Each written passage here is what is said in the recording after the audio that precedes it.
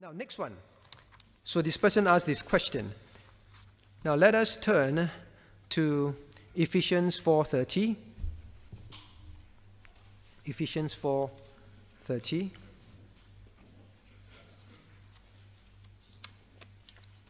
Ephesians 4:30. All right. Now, um, Ephesians 4:30. Can we read um, together? One, two, reading.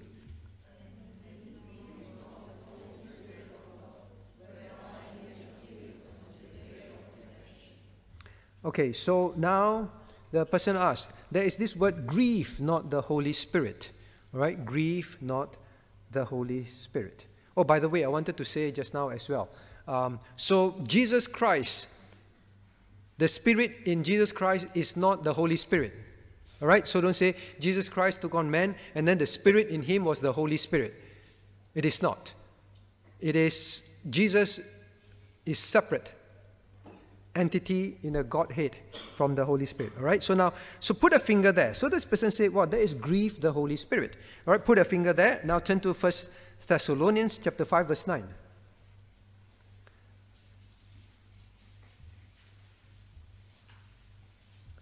1 Thessalonians chapter 5 verse 9.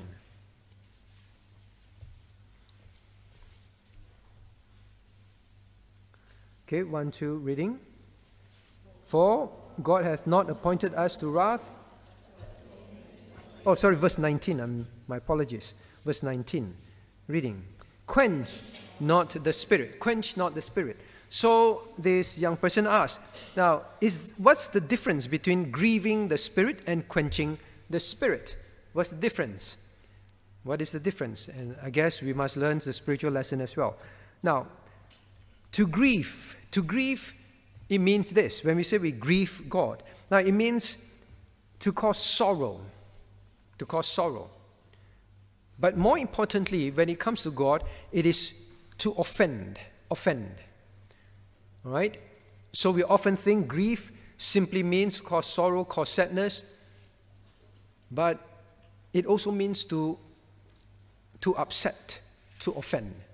right? So, for example, a parent say, uh, give instruction to the child and the child constantly disobeys, the parent says, I'm so grieved. Do you think the parent is only feeling sadness and sorrow? No, he's, he's feeling upset. There's anger as well. All right? So he's grieved. So when God says, grieve not the Holy Spirit, he's saying, do not take the Holy Spirit lightly. Don't grieve him. Don't offend him. Don't cause sorrow to his heart. Sorrow meaning to say, you know, He is trying to help you or have given you instruction through His Word. And then you, on purpose, go against those instructions. All right? You cause Him to be upset. He's trying to help you walk a godly life. And you bring Him sorrow when He see how you sin against God who died for you, right? So now that is the, the, the meaning of that. Now, but I want you to take note, all right? Turn back to Ephesians 4.30.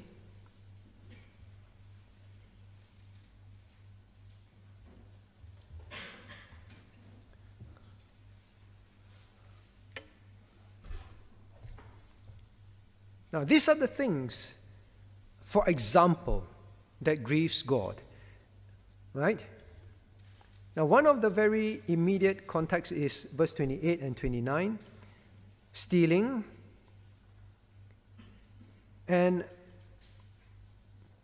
look at verse 29. Let no corrupt communication proceed out of your mouth, but that which is good to the use of edifying, that it may minister grace unto the hearers, and grieve not the Holy Spirit, whereby ye are sealed unto the day of redemption. Corrupt communication is something that grieves the Holy Spirit we learned what is corrupt, right? Corrupt doesn't necessarily, corrupt and ungodly doesn't necessarily, especially ungodly doesn't necessarily mean means very evil, very wicked, very, very, very filthy. Now, anything that corrupts the Christian principles, God say, when they proceed out of our, out of the mouth, instead, and we don't edify others, it grieves God. The Christian's conversation, the Christian speech grieves God very often. We spend much time learning about this topic. Don't speak things without thinking. Um, just like you're careful not to say things to offend people, we should be very careful um, to say certain things. Right? So sometimes just because the world use this phrase, the world say all the time, then we just say it. Then, or the world tells this joke, then we just joke as well. It grieves God. It grieves God. All right? So think about that. So one of the lessons to, to learn about this is must know. Teens, when you're in school. Young adults, when you're at workplace. Families at home can you grieve the Holy Spirit? Very easily. Very easily. He's patient, but doesn't mean he doesn't get offended. Okay? So learn that. Now, next one. Then, what about quench? What is quench? Now, quench is, well, of course, we know to extinguish, right? Extinguish means put out or to suppress. Suppress. So quench is to suppress something, all right, to push something down, to stifle, all right, to reduce, to, to dampen.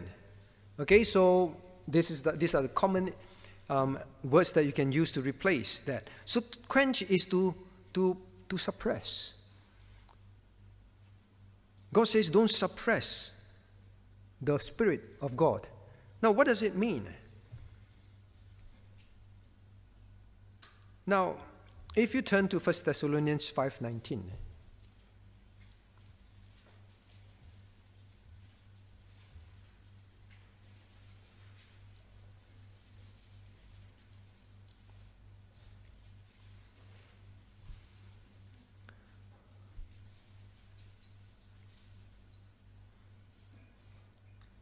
Okay? Now, there are a range of things from verse 16 to 22 that God talks about a range of things. Rejoice evermore, pray without rejoice evermore. Now, when when we when God works something in our life, now God says be, be rejoicing. When God says now pray, so there is a need to pray, to give thanks. Then he say, quench not the Holy Spirit. Now God works in you.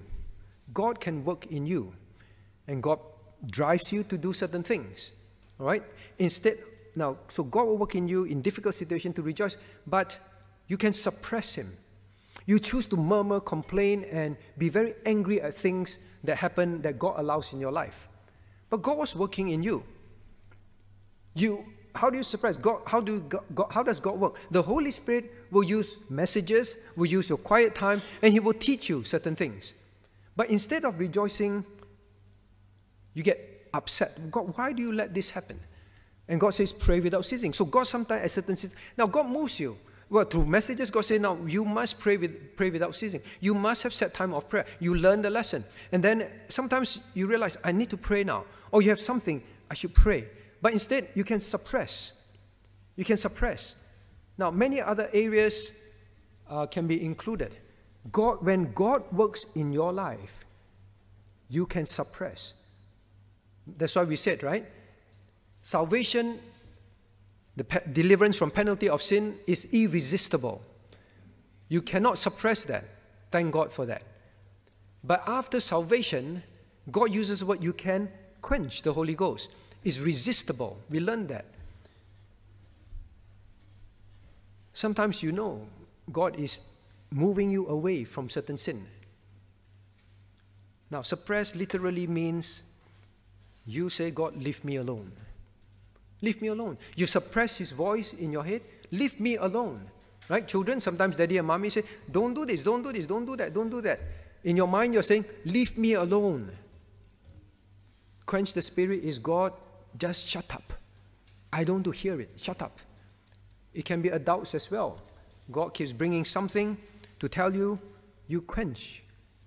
You keep dampening His Spirit trying to extinguish that from your thought and your heart. Your conscience is worked upon by the Holy Spirit.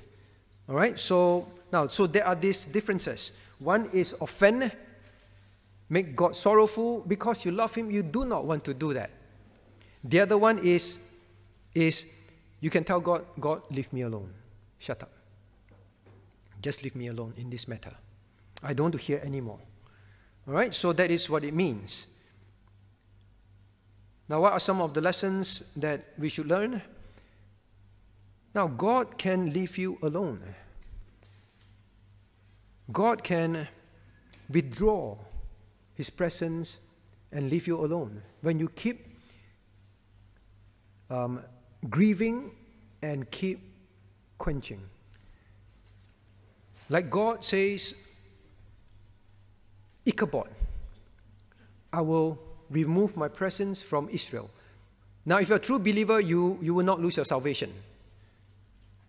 But God says, All right, you keep grieving me, you keep resisting my Holy Spirit working, showing you and ask, telling you to obey.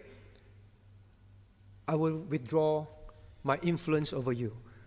Let you make your choices, let you continue in your sin, because sin will always, always have consequences. The working of the Holy Spirit, young ones know this. When you get convicted, when you want to play certain things, you want to watch certain things, you want to see certain things, you want to tell, you want to, you want to do certain things, and you know it's sinful, you must know it is not you alone. The Holy Spirit is working. You can quench Him, you can suppress Him. Leave me alone. I, I want to continue to watch manga, manhwa, and manhwa. I want to continue in that. Leave me alone. All right?